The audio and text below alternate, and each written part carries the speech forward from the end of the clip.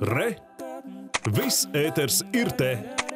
Helikopters lidinās, bet situācija mierīga. Tā migrācijas krīzi un šonedēļ izsludināto pastiprināto ārkārtējo stāvokli raksturo ļaudis, kas dzīvo Lietuvā pie robežas ar Baltkrieviju. Arī Lietuvā ikdienu joprojām mēģina iekļūt desmitiem migrantu un situācija Polijā rada bāžas. No Lietuvas Baltkrievijas pierobežas ziņo Gins Amoliņš. Lietuvas pierobežā ieviestais īpašais ārkārtas stāvoklis nozīmē, ka robežsargi, policija pastiprināti uzrauga cilvēku pārvietošanos arī šeit pie Šalčininku robežu kontrolas punkta, kas tālāk ved uz Baltkrievijas pilsētu Lidu. Aizvadītajā diennaktī Lietuvas robežsargi novērsuši vēl 114 mēģinājumus nelikumīgi iekļūt uh, Lietuvā no Baltkrievijas. Kopumā šonedēļ bijuši vairāk nekā 700 šādu gadījumi. Šeit Šalčininku pašvaldībā arī tiek ziņots uh, no robežsardzes, ka sestdien Baltkrievijas robežas pusē tikuši fiksēti divi gadījumi, kad bijuši dzirdami šāvienu trokšņi. Pa ceļam uz šejieni pārbaudas pofteņus Latvijas televīzija gan nemanīja. Esam ieradušies Šalčininku mazpilsētā. Tur burtiski pāris kilometrus uz priekšu jau atrodas robeža ar Baltkrieviju. Tepat arī zīme pa Sienio rožas, kas nozīmē pierobežas josla. Šajā Lietuvas dienvidu pilsētā Šalčininku, starp citu, lielākā daļa iedzīvotāji ir etniskie poļi. Šajā apdzīvotajā vietā uzraksti gan lietuviešu, gan poļu valodās. Ko pierobežā dzīvojošie domā par notiekošo vai kā izjūt migrantu krīzi? Nu, nu jā, ārkārtējā situācija. Gaidām, kad viss nomierināsies.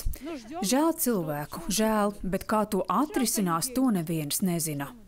Nu, Helikopters lidinās, tad jau kaut ko skatās, bet migrantus personīgi neesmu redzējis. Pie robežas tūmā nēju, runā, ka nāk, bet tā viss normāli, klusi, lieliski. Jā, ir vairāk patruļu. Visi strādā. Arī pati savulaik strādāju. Zinu, kā visi mums ir uzticami darbinieki. Nezinu, kā būs. Tur jau acīm redzot, politiski kaut kā nepareizi uzvedās. Ne tā sarunāja. Vajag kaut kā piekāpties, kaut kā atrast kopīgu valodu un iziet no šīs situācijas. Lietuvas valsts robežsardzes dienests sestdien izplatījis video, kurā esot redzama aptuveni 70 migrantu grupa, kas pārvietojas gar robežu Baltkrievijas pusē.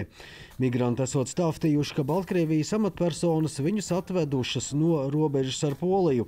Lietuvas robežu viņi nav šķērsojuši, taču viņiem nodots ūdens, pārtika un higiēnas preces. Kas pastiprina tos. Pastāvīgi redzam satraucošas pazīmes, ka Baltkrievijas amatpersonas pēc tam, kad viņu plāns ātri izstumt migrantus pāri polijas robežai izgāzās, tur iestrēgstot tūkstošiem cilvēku, ir pazīmes, ka viņi ar kravas automašīnām tiek organizēti pārvietoti uz mūsu valsts robežu, tāpat kā tā 70 cilvēku grupa.